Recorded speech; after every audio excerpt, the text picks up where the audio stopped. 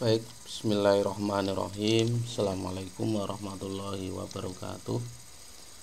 Pada kesempatan hari ini Saya akan menyampaikan materi Uji regresi linear sederhana. Ini melanjutkan uh, Pertemuan sebelumnya Pertemuan 9 Kalau hari ini pertemuan ke 10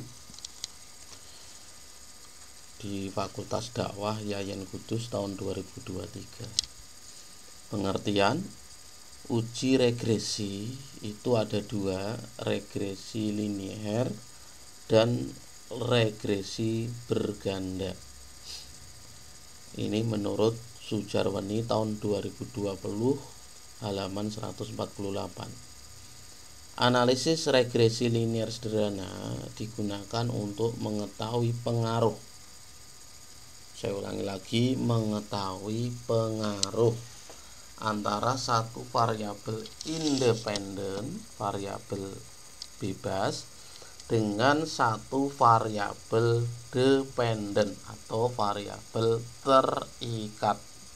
Jadi ada bebas nama lainnya independen dan terikat nama lainnya adalah dependen.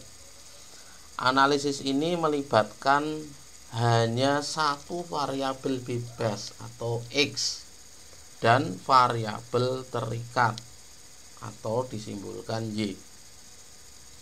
Nah, apabila hanya satu x dan satu y, kemudian ingin mengetahui pengaruhnya x terhadap y, ini namanya analisis regresi linier sederhana.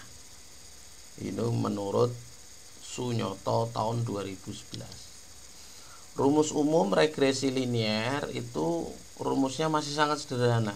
Y sama dengan A plus BX Y sama dengan A ditambah B kali X.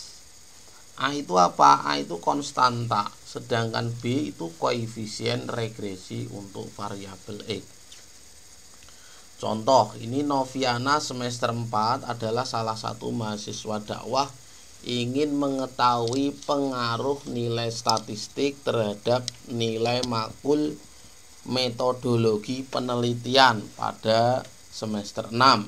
Diambillah data dan diperoleh data sebagai berikut. Ini kebetulan ada 10 mahasiswa yang diambil oleh Noviana. Variabel X-nya itu nilai statistik variabel x itu tadi variabel independen sementara y itu variabel dependen variabel dependen itu variabel terikatnya yaitu penguasaan mata kuliah metodologi penelitian. Asumsinya Noviana ini punya asumsi kalau nilai statistiknya bagus mestinya ada pengaruh ke nilai metodologi penelitian tapi nanti kan bisa terlihat terbukti atau tidak setelah nanti dianalisis nah dari data-data ini nanti kita inputkan ke SPSS 24 Nah untuk uji hipotesisnya H0 tidak ada pengaruh antara nilai statistik terhadap nilai makul metode penelitian atau metodologi penelitian. Sementara H hipotesis alternatifnya adalah ada pengaruh antara nilai statistik terhadap nilai makul metodologi atau metode penelitian. Untuk pedoman pengambilan keputusannya jika siknya lebih dari 0,05 maka H0 diterima jika siknya 0 siknya kurang dari 0,05 maaf ini 0,05 ya. Kita edit dulu. Maka H0 ditolak.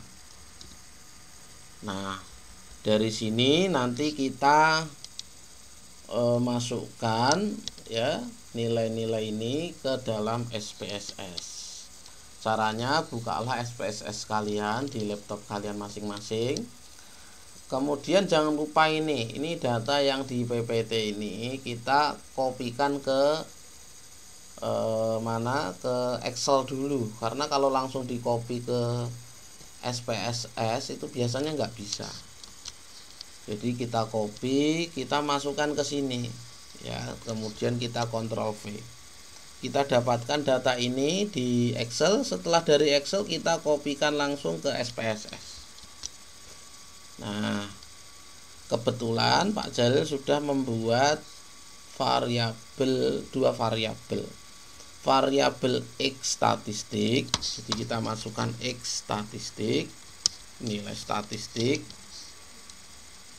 Kemudian y nya itu nilai MP y itu nilai MP MP itu metodologi penelitian gitu ya untuk tipenya tipenya width decimal value jenengan B kan saja nggak apa-apa. Yang penting jenengan sudah buat e, dua variabel ini. Setelah itu kita kopikan di sini. Jadi dari sini kita copy kita masukkan ke SPS ini. Ya, kita copy ke sini. Nah kita sudah dapatkan ini ya variabel x dan y kemudian kita analyze. Setelah itu kita eh, klik analyze kemudian pilih regresi kemudian pilih linear. Setelah itu untuk variabelnya kan tadi ada dua ya ada variabel x dan y. Untuk variabel x itu variabel yang sifatnya uh, independen. Maka kita masukkan ke variabel sini ya. Kemudian untuk y nya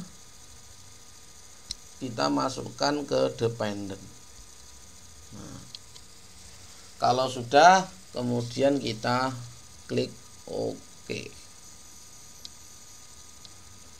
nah kita akan dapatkan yang namanya output dari uji regresi dari variabel enter model summary dan ANOVA bagaimana cara membacanya kembali lagi ke uji hipotesisnya Nah, untuk R square, khusus R square ini kita lihat R square-nya saja. Ini 0,955. Ini kalikan 100%.